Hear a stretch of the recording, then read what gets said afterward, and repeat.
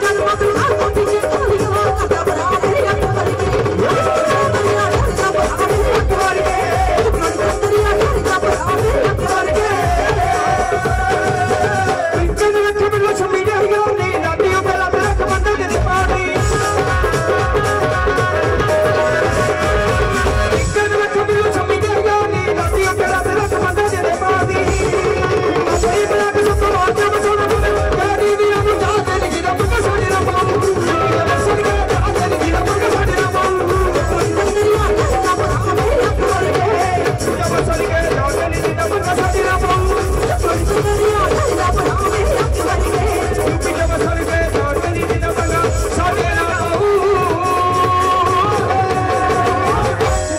ਲਓ ਜੀ, ਕਿਉਂਕਿ ਆਰਟਿਸਟ ਮੇਰੇ ਸੀਨੀਅਰ ਆਰਟਿਸਟ ਬੈਠੇ ਨੇ ਸਾਡੇ ਪਾਪਾ ਜੀ ਹੁਣੀ। ਕੁਤਾਰ ਰਮਲਾ ਜੀ, ਸਾਡੇ ਸਬਰ ਖਾਨ ਸਾਹਿਬ ਉਸਤਾਦ ਜੀ ਬੈਠੇ ਨੇ।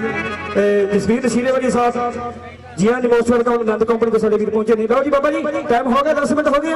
ਲਓ ਜੀ, ਇੰਨਾ ਕੁ ਟਾਈਮ ਇੰਨਾ ਕੁ ਕਬੂਲ ਕਰੋ ਜੇ ਵਾਕਿਆ ਚੰਗਾ ਲੱਗਾ ਤੇ ਕਰੀ ਤਾੜੀ ਮਾਰ ਕੇ ਦੱਸੋ। ਪਤਾ ਲੱਗੇ ਕਿ ਵਾਕਿਆ ਅੰਮ੍ਰਿਤਸਰ ਤੋਂ। ਥੈਂਕ ਯੂ ਜੀ।